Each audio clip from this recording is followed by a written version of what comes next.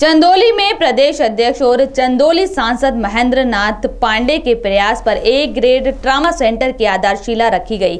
इस मौके पर केंद्रीय स्वास्थ्य मंत्री जेपी नड्डा, केंद्रीय स्वास्थ्य राज्य मंत्री अनुप्रिया पटेल भी मौजूद रहे।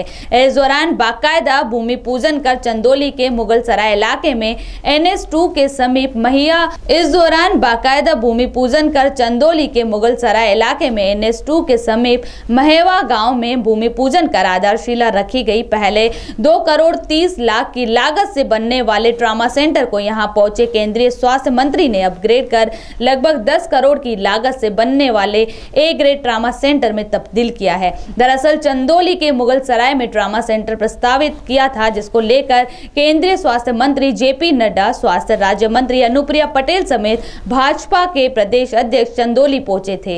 इस दौरान पत्रकारों से बात करते हुए महेंद्र पांडे ने कहा कि यहाँ चंदोली और चंदौली से सटे बिहार के कई जनपदों के लिए संजीवनी का काम करेगा। वहीं पाँच राज्यों में हो रहे चुनाव की मतगणना को लेकर पूछे गए सवाल पर महेंद्र पांडे ने कहा कि इंतज़ार कीजिए, चमत्कारिक रूप से भाजपा के पक्ष में मत पड़े हैं। तमाम एग्जिट पोल को झूठे लाते भाजपा के साथ खड़े मिलेंगे लोग। हिंदुस्तान की सरकार ने अभी इस शासन में पचासी हिंदुस्तान में ट्रामा सेंटर का प्लान किया है।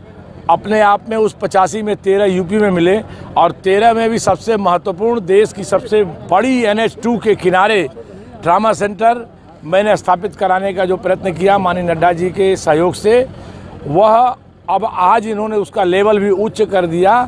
ये ढाई करोड़ के प्लान से लो लेवल का ट्रामा सेंटर था।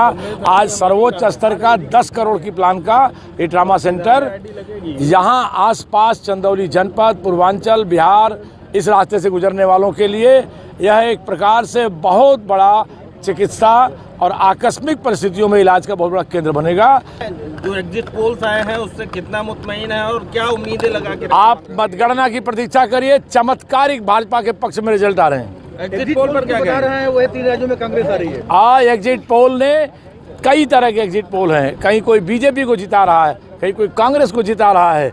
इन सब के लिए प्रतीक्षा करिए ग्यारह तारीख को। जनता भाजपा के साथ है। सुब्रमण्यम स्वामी जी ने कहा है कि राम मंदिर नहीं बनेगा तो सरकार गिरा देंगे। वो उनका निजी विचार है।